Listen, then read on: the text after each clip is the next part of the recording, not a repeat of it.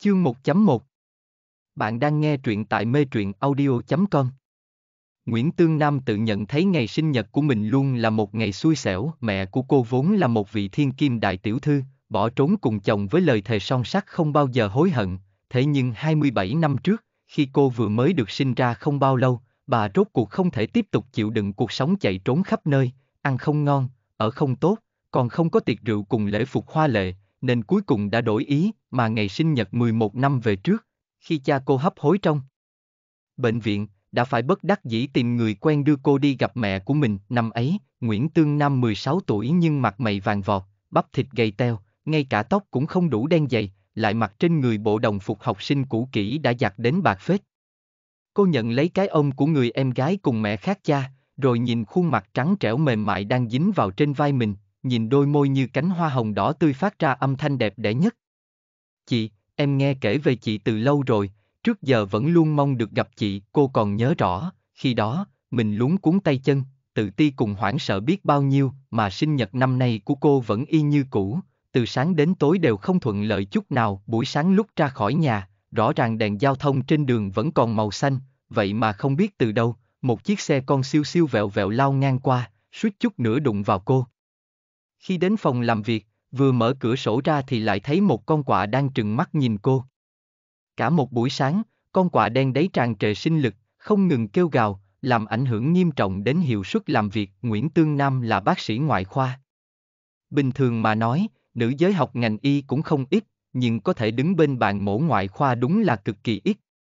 So với bác sĩ nam thì bác sĩ nữ ở khoa ngoại có thể nói sinh ra đã thiếu hụt về sức khỏe, thể lực sau khi hoàn thành giai đoạn hậu phẫu cho hai bệnh nhân, cô bị bác sĩ Diệp gọi lại. Bác sĩ Diệp, tên đầy đủ là Diệp Trưng, có một khuôn mặt với ngũ quan thiên về nét đẹp nữ tính, khóe miệng như đang mỉm cười, đại khái những tính từ miêu tả cái đẹp đều có thể dùng trên người anh ta. Bác sĩ Nguyễn, cô không xem thử dáng vẻ sau lưng của mình như thế nào sao? Ba giây sau, Nguyễn Tương Nam mới kịp phản ứng, lập tức chạy vội vào nhà vệ sinh sát bên. Cô cởi áo blue trắng ra, mới phát hiện giữa lưng áo mới không biết bị ai đó dùng bút bi xanh vẽ nên một hình người to lớn đang nhảy múa, đã thấy hình vẽ còn giống hệt như thật, cố gắng kìm nén vẻ mặt co giật, cô vội quay trở về phòng, thay một cái áo blue khác, y tá trưởng vẫn đang lưu luyến con quạ bên ngoài cửa sổ, thấy cô về liền ngẩng cầm lên nói, Tương Nam, hôm nay có khi cô lại gặp được chuyện tốt đấy. Xem kìa, từ sáng đến giờ, con chim khách kia cứ hướng về cô mà kêu mãi đấy. Vất vả chịu đựng đến hết giờ làm, Nguyễn Tương Nam cũng chẳng còn hứng thú đi truy cứu con chim kia rốt cuộc là con quạ lớn lên nhìn giống chim khách hay là chim khách giống quạ nữa. Dọn dẹp đồ đạc xong, cô liền ra về.